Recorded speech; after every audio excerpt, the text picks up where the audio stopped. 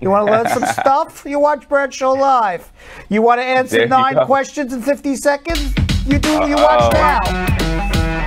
Let's do it. Let's let's answer some stuff.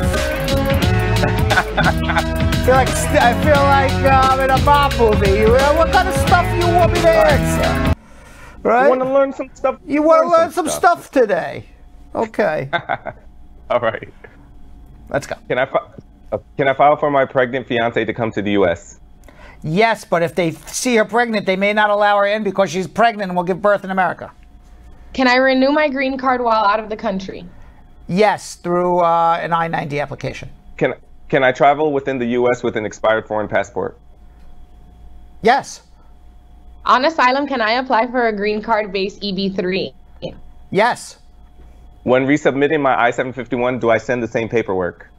The same paperwork to prove you and your spouse live together. Yes. How long does an I 130 appeal take? Years. Rather refile. How long does the N How long does the N600 process take? Over a year.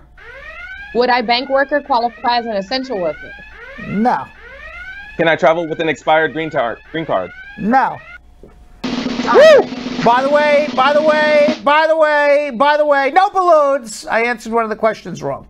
You can't travel with an expired passport. They're not going to let you on a plane if that was the question. Uh, they, the question was, Can do I you want travel to with an, within ex- the US yes, with with an expired passport? Yes, no, you can't.